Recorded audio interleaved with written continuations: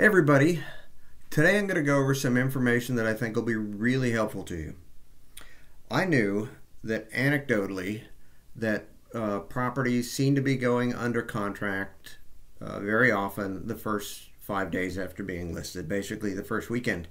And I also knew that the winning bids quite often seem to be above list price. But I wanted to confirm and quantify that understanding.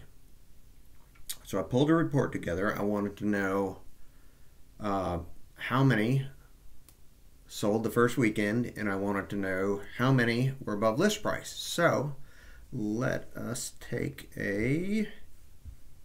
Where am I going? Let's take a look. Okay, so Wow, 88% of the homes went under contract during the first five days after being listed. That is crazy. I looked at residential stick built homes greater than 900 square feet and with 20 acres of land or less. Really, here just trying to uh, weed out some of the outliers that could skew the data. I didn't really want to get like a 60 acres of land with a thousand square foot home because those could be on the market uh, a good bit less. So let's see.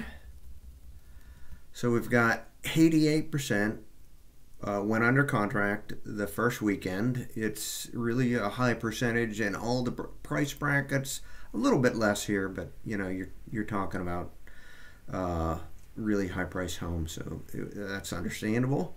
Here's a breakout by county. Forsyth and Guilford are the has the most transactions and the highest amount, so it's maybe just more competitive. Uh, you've got some lower percentages in some of the more rural counties here and there, but then again, these also had just a few transactions, so it's more easy. Uh, smaller populations, a little bit more easy for the data to be skewed. So now that we know 80%, 88% went under contract the first weekend, how many were above list price? Drum roll, please. Hang on. All right. 72%. 72% were above list price. That's crazy. 18% were at list price. So that's 90% overall. Only 10% went off were below list price. That again, that is just insane. It was up from 68% uh, the previous time that I pulled this data. So it just says so if you want to win a bid uh, the first weekend, you really have to uh, have your act together. You can't just casually go looking at houses. Uh, you have to have your pre-qual letter. You got to know what to expect, and you have to be prepared. You have to have this knowledge. You have to be prepared to uh, bid uh, above list price if you want to have a high enough probability of winning the bid. Uh, so you know, and there are risks. There's if you're doing putting a, in an offer the first weekend, there's risks because you know you're going to be if you're paying a higher amount, you're going to be bumping up uh, against or beyond the appraisal value. Uh, You've got uh, maybe possibly higher due diligence fee, so you've got more to lose. So um, there's, you know, it's a whole nother video as to how you approach this, and I could definitely help with that. Uh, this information, the whole reason I, this is part of how I help you because it's one thing for me to say, oh, the market's real hot, but it's another thing for you to actually look at the data and see. I think it just hits home when you look at those numbers.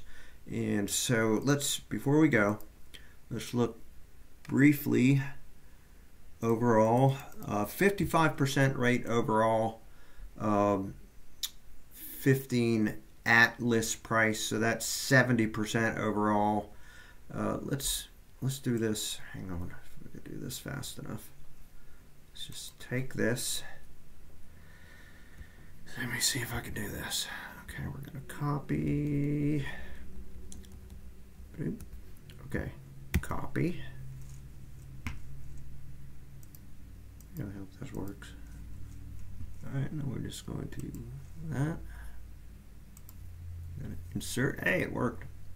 Uh, okay, so now, see, this is why it's useful to have a realtor who has done either the financial statements and or financial planning models for corporations with hundreds of millions in revenues because I can do this stuff for you. Okay, so we just change it to no. That means uh, basically after six days or afterwards. So if you get an offer in basically just, you know, if it lasts the first weekend, then your odds uh, of being able to make a lower offer below the asking price, you get 54% went below the uh, the asking price, and 34% were above. So that is 46%. So long longer the timeline goes out, the better your chances. I mean, it, again, it could mean there's something wrong with the house, but you know, not necessarily. So you just you have to be having awareness. But uh, you know, if if you have money to burn and you could put a lot down, but if you are have like just enough for your down payment and your closing costs, then uh, you're really better off waiting uh, to find something that is cleared the first weekend because it's it's less uh, risk of you losing your you know due diligence fee because it doesn't appraise or something like that. So get back. All right, very good.